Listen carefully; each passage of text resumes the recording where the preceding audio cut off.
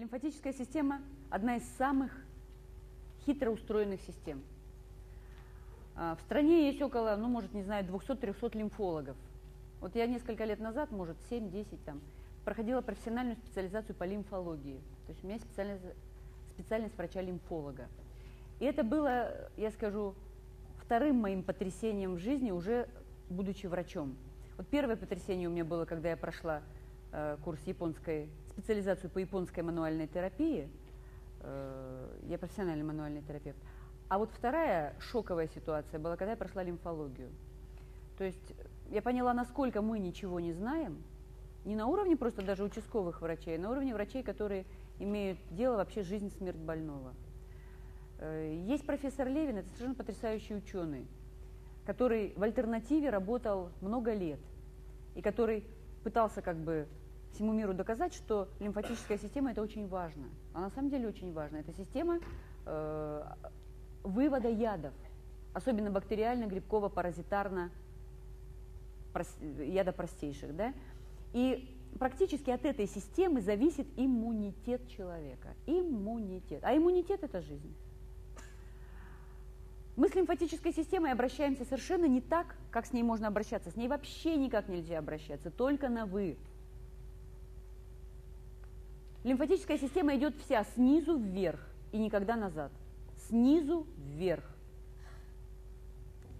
С кончика пальцев до грудного лимфатического протока. А массаж нам делают с трех раз сверху вниз.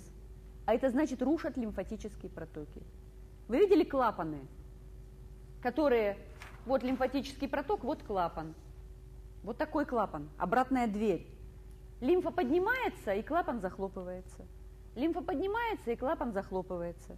Если промассировать вот так пару раз интенсивненько, то все клапаны порушатся. Лицо нам массируют в другом порядке.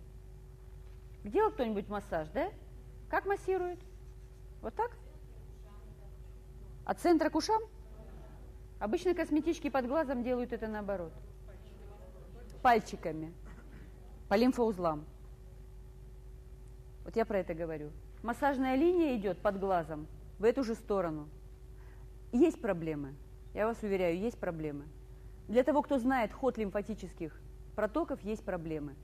Есть профессиональные массажистки, которые владеют системой лимфодренажа безусловно, они ей владеют.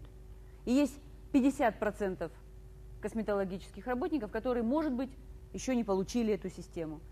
Есть процентов 50 массажистов, которые вообще не знают, что лимфа идет снизу вверх.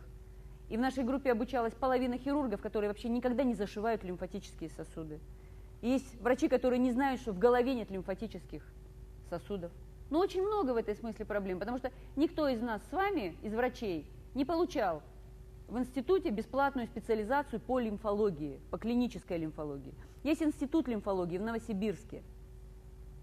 Наверное, там много очень знают, но это никакого отношения к не знаю, участковой службе Москвы не имеет. А мы обращаемся в участковую службу с просьбой нам помочь и так далее, и так далее. Поэтому наука слишком далека, она оторвалась и убежала.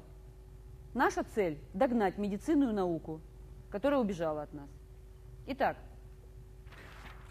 сосуд кровеносный, по которому идут эритроциты, лейкоциты 28, 15, 12, клетки, которые получают из них питание. И из каждой ткани отходят лимфатические сосуды, которые начинаются прямо в ткани и которые фильтруют через себя огромные потоки лишней жидкости – то есть жидкость, вот там было равновесие Старлинга, это все как бы, ну не, мы не стали вырезать, просто резать фильм. Жидкость выходит сюда, вместе с растворенными питательными веществами. Чуть-чуть всасывается назад. Но основная жидкость, промывая вот эти ткани, промывая это болото, уходит в лимфу. Тут живут бактерии. Вот тут. Вот тут живут грибки, связанные между собой цепями. Тут живут паразиты, прямо в ткани, аписторхи, лямбли и так далее. постоянно смывается водой из сосуда все и уходит в лимфу. Каждую минуту идет опорожнение. Помните задачку? В бассейн по одной трубе наливается такое-то количество воды. По трубе меньшего диаметра или большего выходит другое количество воды. Рассчитайте, через сколько вода заменится в бассейне. Я никогда не могла рассчитать. Бесполезно. Вот тут вот по одной трубе входит, по другой трубе выходит. А пространство должно быть идеально чистым. Таможня, лимфоузел. Первого маленького масштаба. Если он поражен, говорят, говорят рак первой степени. Метастазирование идет по лимфоузлам. Протягивает всю воду сюда. 10 входов, один выход.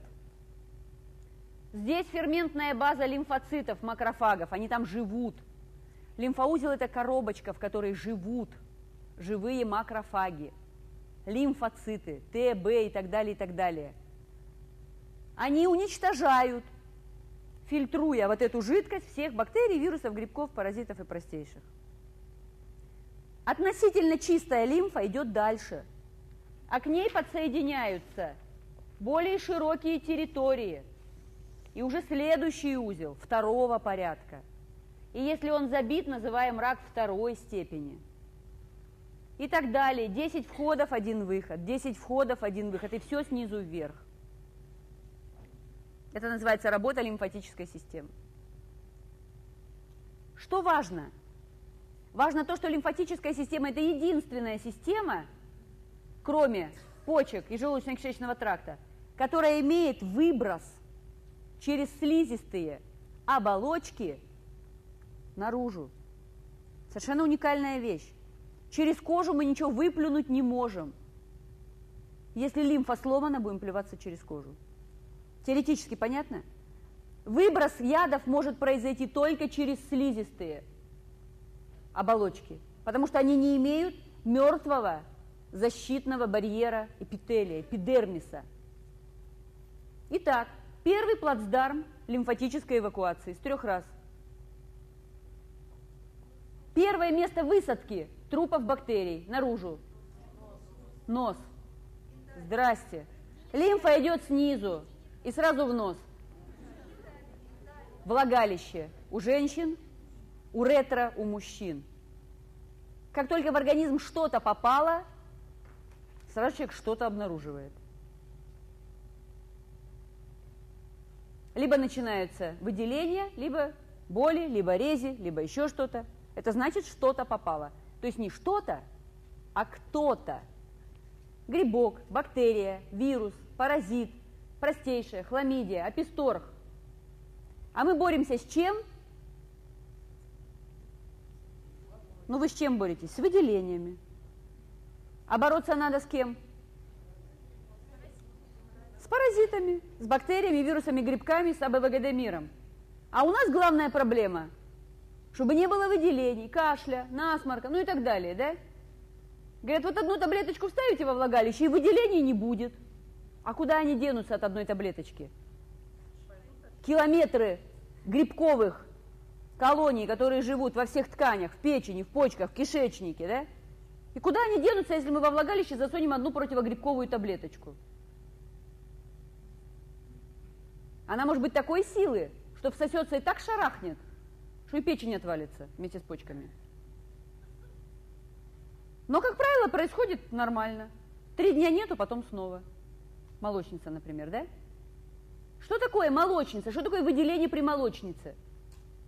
Это трупы грибка, которые уничтожены были лейкоцитами. Поэтому не с ними надо бороться. Что с трупами бороться? Они уже трупы. Бороться надо с живыми грибками, а бороться можно одним способом, одним, поднимая иммунитет. Потому что все живое не убьешь в организме. Поэтому надо поднимать иммунитет. Второй плацдарм высадки. Ну давайте, легкий, это уже пятый. Кишечник.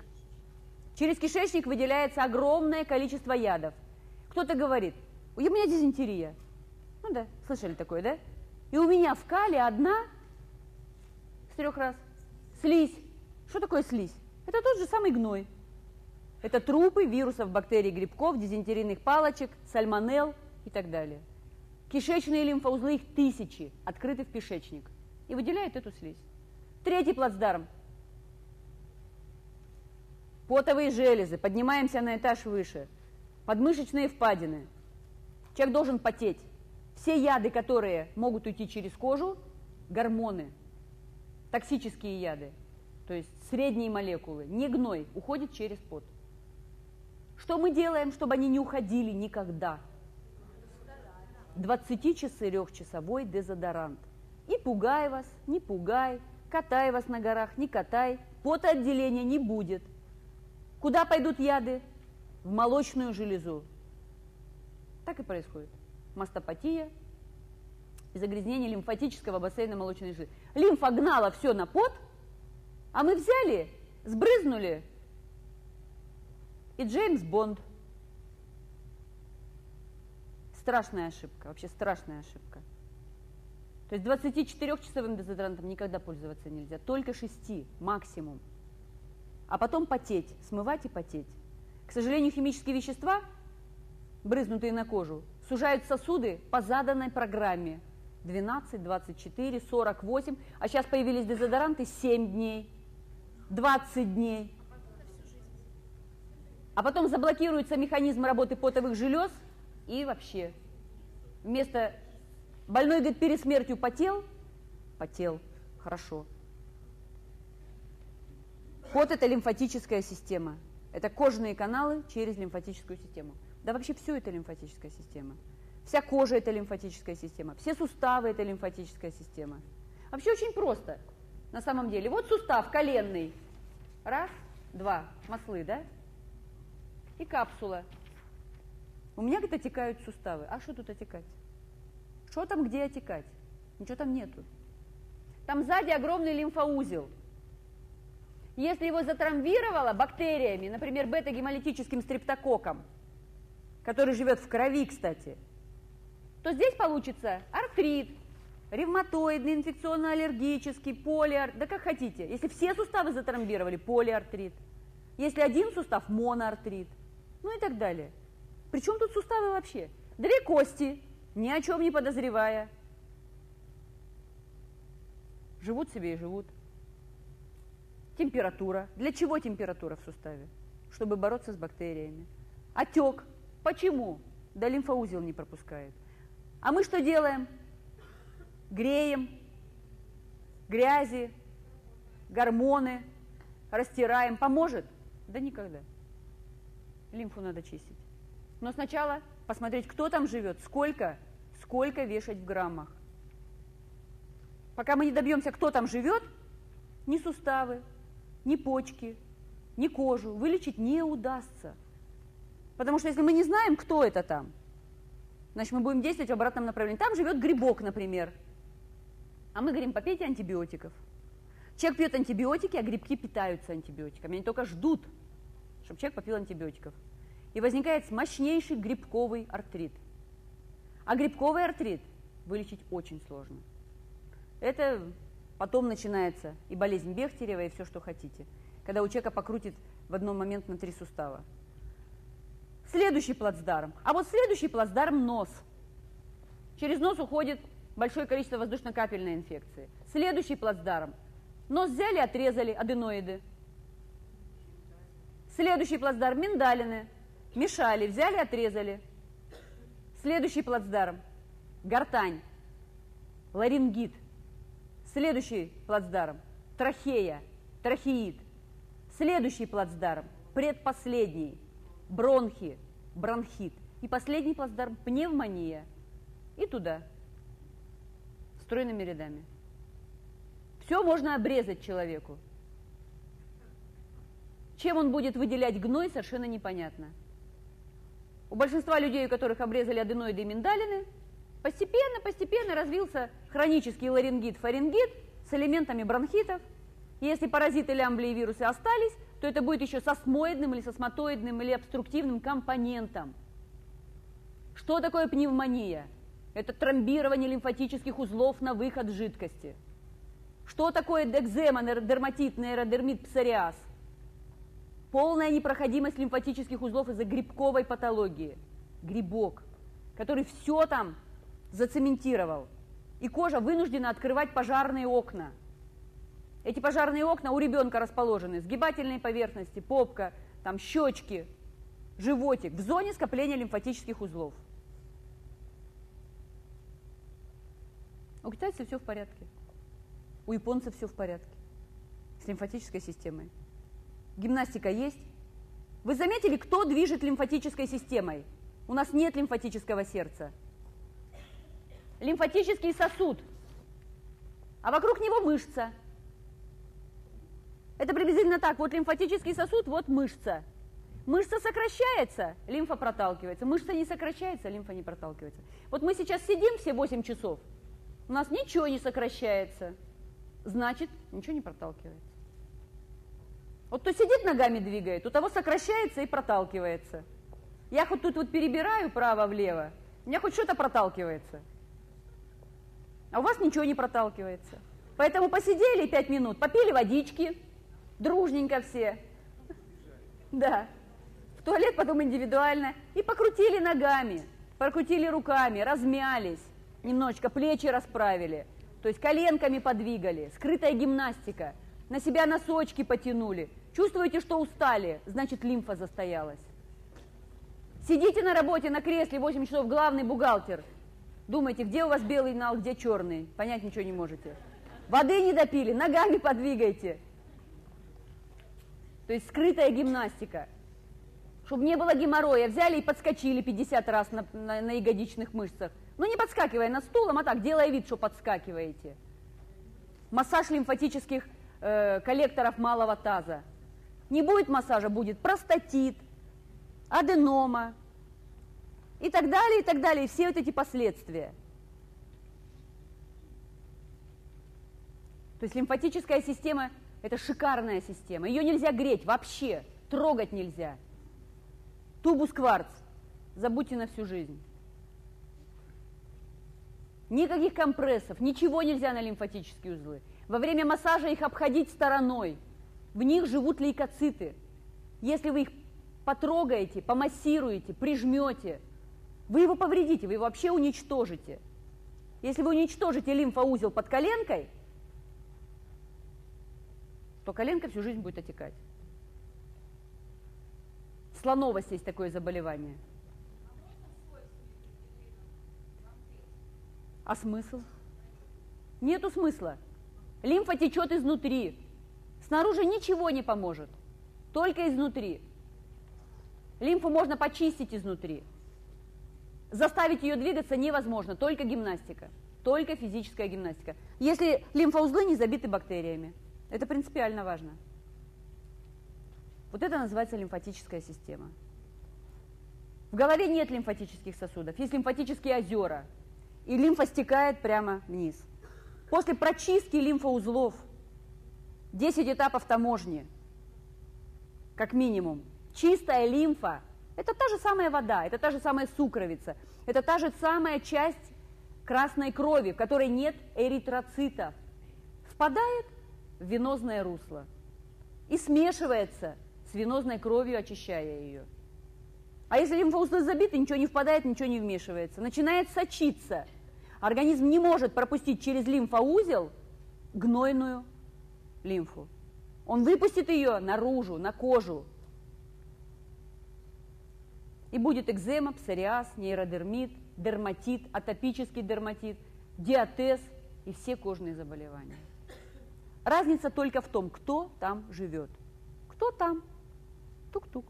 Сиди, я сам открою. Чаще всего грибки. На втором месте глисты. На третьем месте бактерии. У них иерархия другая. Другой вид спорта. На четвертом месте вирусы. Вирусы настолько малы, что они в лимфе не, ну как бы так, не живут. Вирус сразу идет в клетку. Сразу, сходу. А вот грибок живет в лимфе. И поэтому грибок поражает кожу.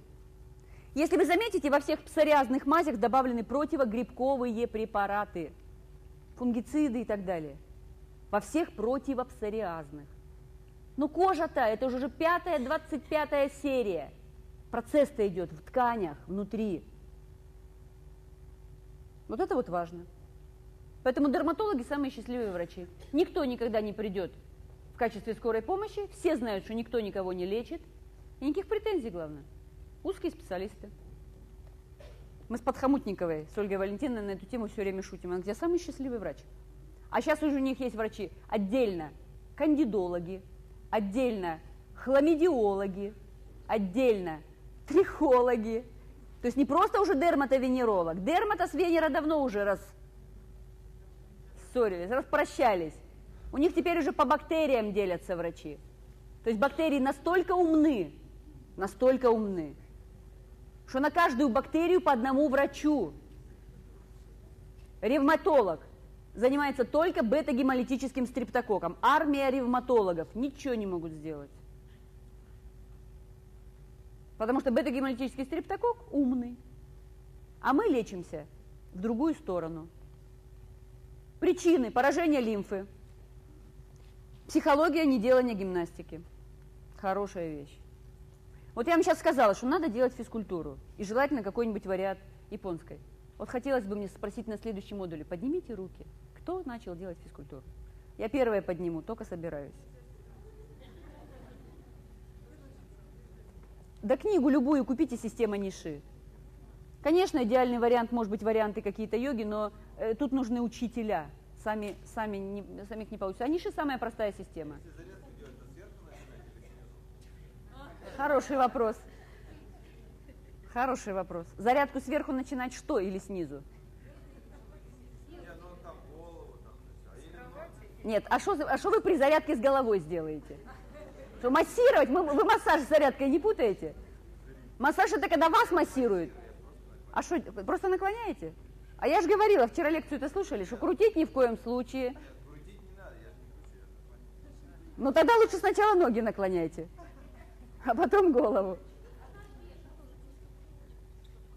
нужно взять какую-то готовую систему. С гимнастикой вообще, если, если с питанием полная труба в стране, то с гимнастикой там еще хлеще. Поэтому даже вот сходу и не знаешь, что ответить. Но вообще гимнастика должна быть индивидуальна.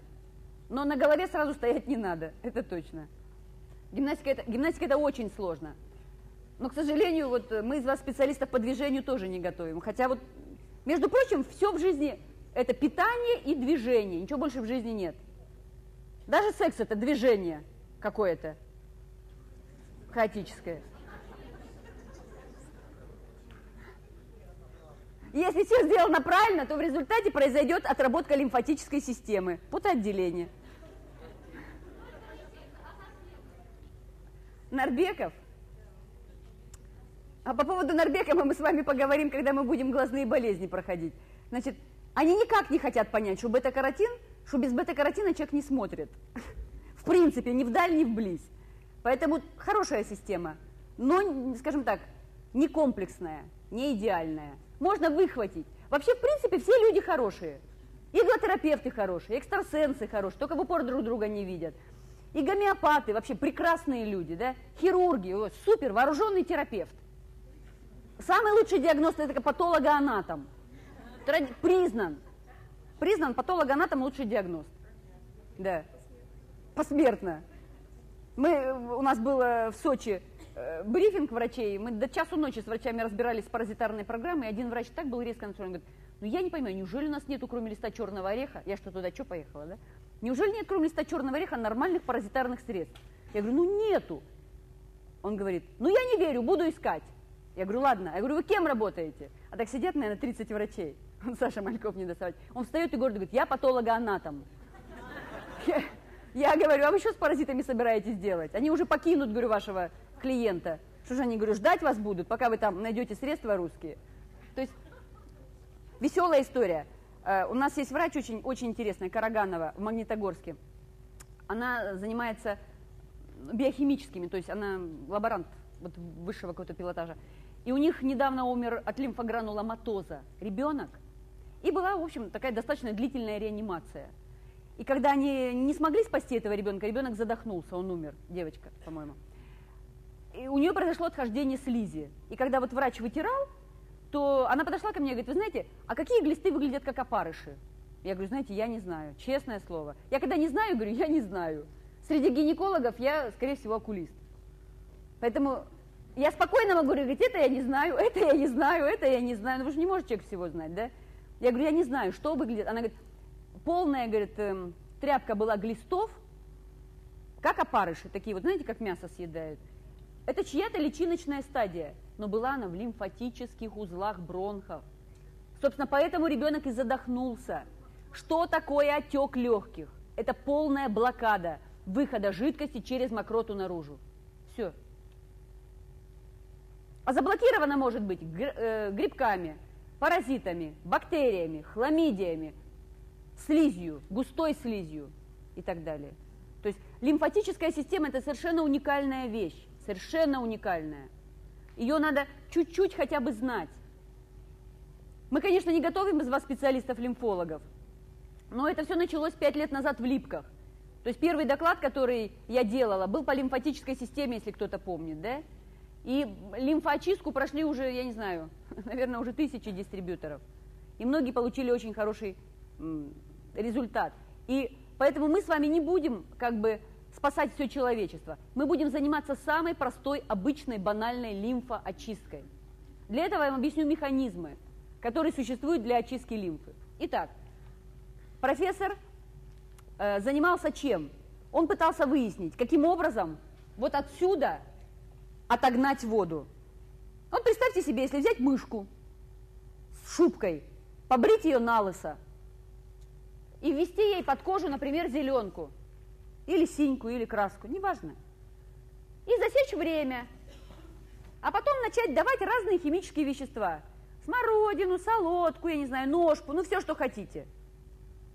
Вот этот вот синяк зеленый будет пропадать разное количество времени. И зависит скорость пропадания от того, как быстро высосет отсюда лимфатическая система вот эту всю жидкость. То есть, по сути дела, измерялась скорость интерстициального межтканевого транспорта. Понятно? Были проведены десятки тысяч экспериментов в течение 30 лет радиоизотопными методами исследования. И было доказано, что все вещества делятся на два типа, так же, как все болезни – Вообще все делится в жизни на два типа. Инь-янь, плюс-минус, ноль. Все болезни. Либо ты теряешь то, что тебе нужно, память, потенцию, либо приобретаешь то, что тебе не нужно. Перхоть, геморрой.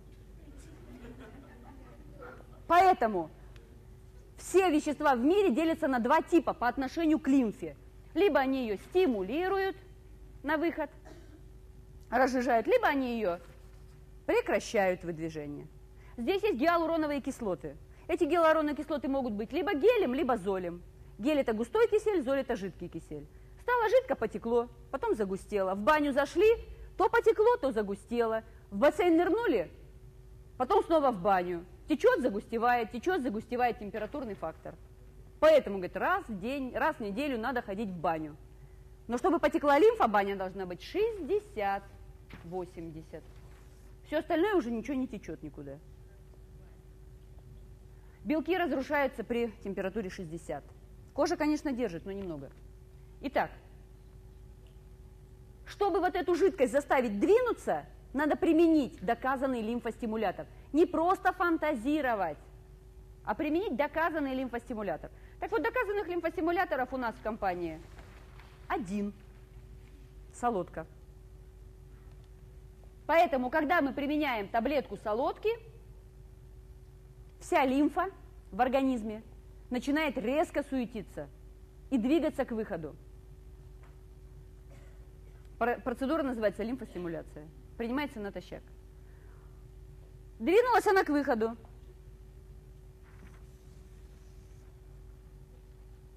И вместе с ней пошли яды.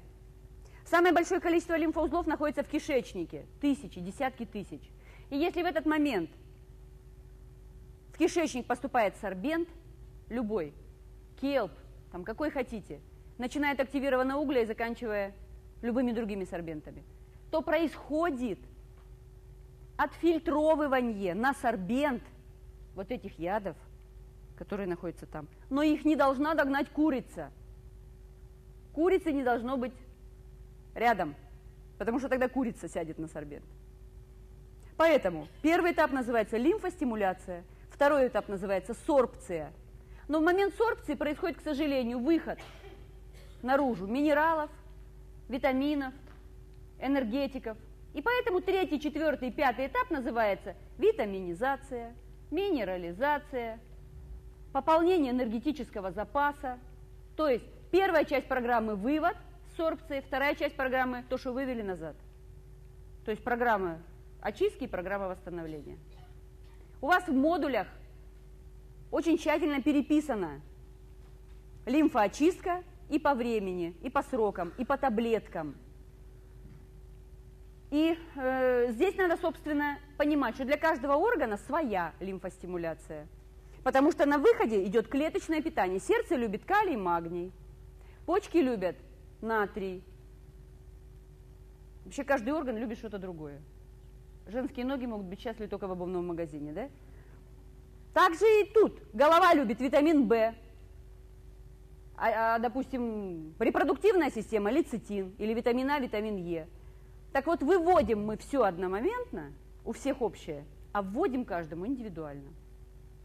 Больное сердце пей калий, мат, нагни, мат, фу ты, натрий, магний. Больная репродуктивная система пей витамин А, витамин Е. То есть лимфоочистку надо не по таблеткам запоминать, а по принципам. Лимфоочистка может быть один день, два, три, четыре, десять, двадцать. Она может быть после химиотерапии, она может быть после гриппа, она может быть до гриппа в качестве профилактики, она может быть после алкогольного отравления. Супер! Лимфоочистка после интоксикации – это супер. Она может быть, когда стресс произошел, когда вы рентген сделали, когда вы УЗИ сделали. Она может быть в любых случаях жизни, в качестве помощи целому огромному коллектору, который очищает ваш организм. То есть лимфоочистка – это принципы. Это не конкретные схемы, это, конечно, это конкретные схемы на конце, но это суть, ее надо понимать. Мы должны понимать, что? Что мы заставим воду в организме всю. Это печень, почки, это сердце, это мышцы, это кости, это головной мозг. Вся вода одна, одновременная. Начнет двигаться, потечет быстрее. Когда она потечет, нам надо ее профильтровать через сорбент, очистить. Сорбент уйдет естественным путем. И не забыть принять витамины, минералы и какие-нибудь питательные вещества. Все, ничего там больше нету особенного. Но очень важно, чтобы вы понимали, сделал рентген, почисти лимфу. Принял химию, почисти лимфу. Пропил курс антибиотика, почисти хотя бы чуть-чуть. То есть дай возможность. Переболел пневмонией, бронхитом, гайморитом, проктитом, не знаю, чем хочешь, хоть пилонефритом, почисти лимфу.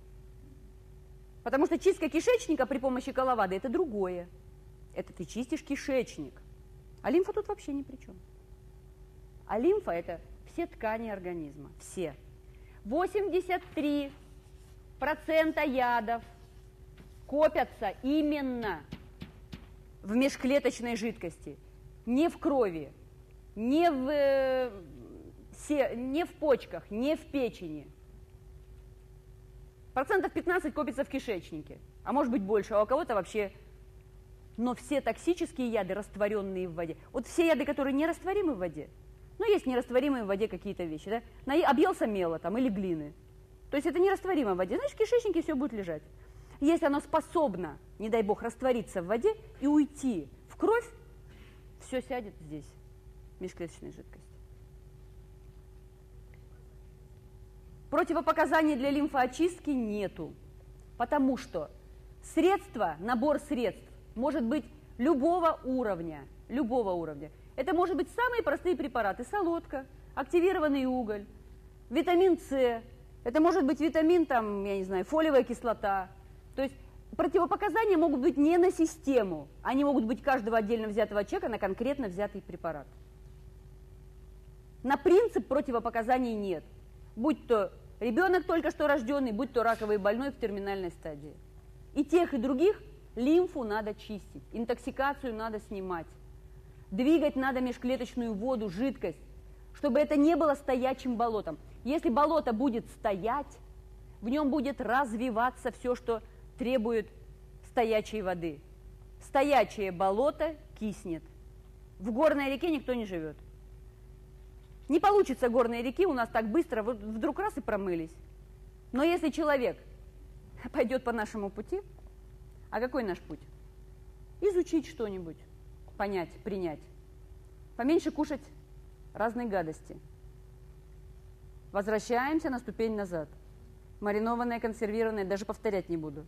Поменьше пить всякой гадости. Вы видите, куда нас все время заносит, да? Туда, назад. Все гениально просто в, этой, в этом мире. Если ты будешь делать нормальные вещи, все органы и системы, в том числе лимфатическая, будут работать нормально. Посмотрел, какие паразиты, убрал. Посмотрел, какие вирусы, обследовался, убрал. Попытался, поднял иммунитет. Снова. То есть процесс лечения не должен быть «сегодня лечусь, а завтра живу». Процесс оздоровительной реабилитации должен идти каждый день. Каждый день не надо загрязняться. Чисто не там, где убирают, чисто там, где не сорят. То есть не сорите в своем организме. Не кушайте все, что движется, не приколочено, ползает, там хрюкает. Поменьше этого всего. Есть достаточно много хороших вкусных вещей. Кушать надо меньше, но чаще. Как говорят, мало есть. Много есть вредно, а мало скучно. Мы копаем себе могилу ложкой и вилкой. Китайцы все про это знают.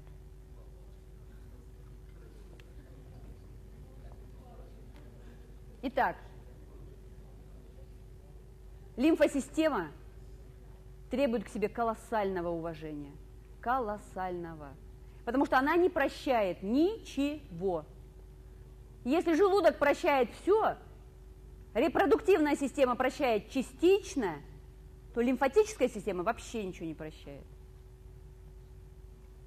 Потому что от нее зависит, собственно, жизнеобеспечение человека на уровне ты ИА, Б, В, Г, Д, соли тяжелых металлов, токсины, антибиотики, химические вещества, уксусы, формальдегиды, ацетоны, парацетамолы.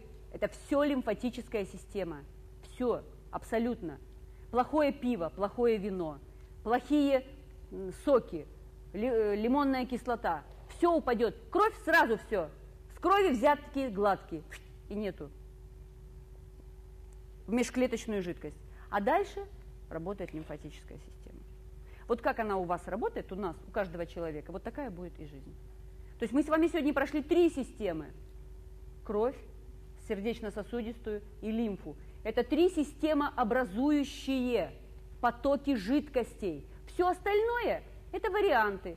Чуть-чуть добавьте желудочного сока, будет кислоты, будет желудочный сок. Чуть-чуть ядов будет моча. Чуть-чуть там сперматозоидов будет сперма. Это та же лимфа. Это та же лимфа. Чуть-чуть пищеварительных соков – это слюна. Чуть-чуть там адреналина – это слезная жидкость. Потому что человек плачет, чтобы выделить адреналин. Самая высокая плотность слезы в организме, да? Очистите тщательно лимфу, будет спинномозговая жидкость. То есть все одна и та же жидкость. Одна и та же. Не бывает отдельно кровь, отдельно лимфа, отдельно моча. И когда моча ударяет в голову, естественно, это та же самая кровь. И это та же самая лимфа, которая не отошла. Все едино. Круговорот воды в организме человека завязанный на огромные межклеточные жидкости. 70 литров межклеточной жидкости. 70. При весе, ну там, 90 килограмм. Ну, 50 при весе 70 килограмм. Какая разница? Огромное количество. Этой жидкостью не занимается никто из врачей, практически. Вот если только вы подсоединяетесь. В карам-клубе очень много врачей, очень много хороших врачей. Если врач встает на позицию «сначала почистишь, а потом разберемся», это очень хорошая позиция. Это позиция не кораллового клуба, это позиция авиценны. Сначала почистись, прекрати есть, успокойся, поголодай. Не помогло, поди к врачу. Попей водички, не помогло, поди к врачу. Если, а если все так сделают, к врачу ходить не надо будет. И заодно и врачей освободим от тяжелого пахотного труда. Все равно бесплатно работают.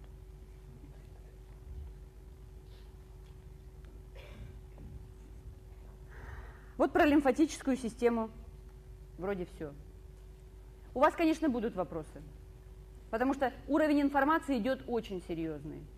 Для, очень, о, ну, очень серьезный. Но что-то сложное. Вот вы не медик? Все понятно, да? Представляете задача? Чтобы за, за, за два, два еще там два дня вам всем было все понятно в организме. Представляете задача? Я 7 лет училась, 25 лет назад, вышла, думаю, боже мой, ничего не понимаю. Что там происходит? Ольга Алексеевна Бутакова, врач, исследователь, нутрициолог, кандидат педагогических наук, действительный член Международной академии информатизации, серебряный мастер компании «Международный коралловый клуб». В 1982 году закончила Ленинградский медицинский институт. Первую половину своей врачебной практики она работала в медицине острых состояний. Возглавляла отделение неотложной медицинской скорой помощи военного округа на Дальнем Востоке.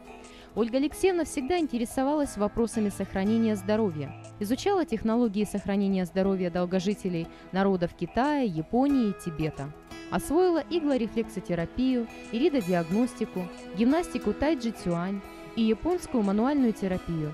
Занималась лечебным голоданием на кафедре разгрузочной терапии и вопросами реабилитации в авиационно-космическом институте в Москве. Ольга Алексеевна всегда стремилась получать знания у авторов методик. Академик Бадмаев, профессора Ваграник, Вильховер, Николаев, профессор Сайонджи. В поисках знаний Ольга Алексеевна объездила разные страны – Китай, Индия, страны Европы. Изучая новые технологии продуктов для здоровья, в 2000 году она познакомилась с компанией «Международный коралловый клуб», где вместе с серебряным мастером Андреем Гуреевым основала Академию здоровья – вот уже шесть лет Ольга Бутакова – ее бессменный руководитель. В качестве эксперта была приглашена международные телевизионные проекты «Тайна живой воды» и «Осторожная еда», где сотрудничала с такими выдающимися учеными, как академик Казначеев, профессор Коротков, профессор Зенин, исследователи Масару Эмота и Алоис Грубер. Ольга Алексеевна и сегодня продолжает сотрудничать с лабораторией Масару Эмота в Европе в области энергетики воды – в своей практике Ольга Алексеевна пришла к выводу, что только просветительством, обучением людей можно изменить их отношение к своему здоровью. Сегодня тысячи людей получили глубокие знания в области здоровья в разных странах мира. Россия, Украина, страны Балтии, Казахстан, Узбекистан, Монголия, Черногория, Италия. Ольга Алексеевна – замечательный и оптимистичный человек и просто очаровательная женщина.